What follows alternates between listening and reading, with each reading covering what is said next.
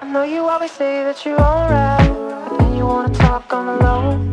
And if you wanna pick, baby, we can hit the rooftop alone.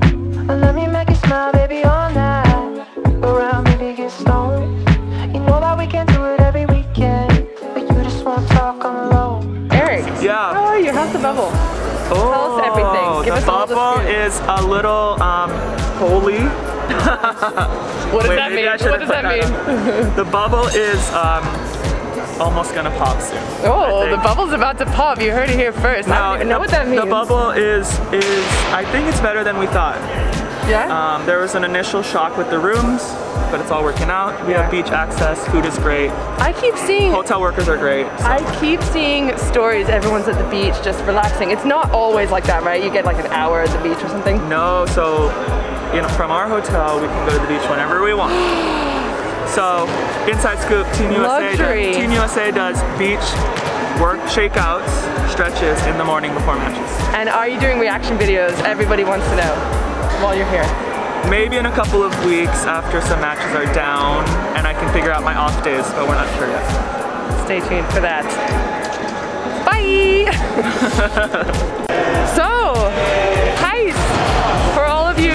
IBB Polonia fans out there, how are you? How's your bubble? I mean, it's a it's a crazy experience Uh-huh. being here for just the entire time, only thinking about volleyball.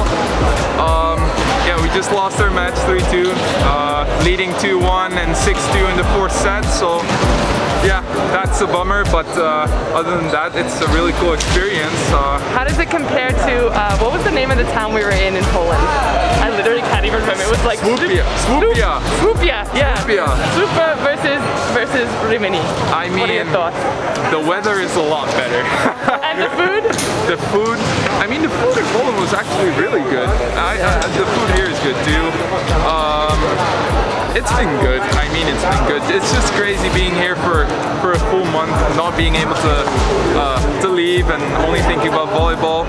But it's a super, yeah, inspiring uh, teams, all the best players I realized here. this yesterday and I was like, oh my god, these are the best players in the world. I should be vlogging this. Yeah, th- So anyway. it, it, it is really awesome and very cool experience. High, super high level volleyball. You get to watch, you get to play. It's it's cool. Yeah, Well, thanks for being on the vlog. for sure. Bye vlog. Bye everyone.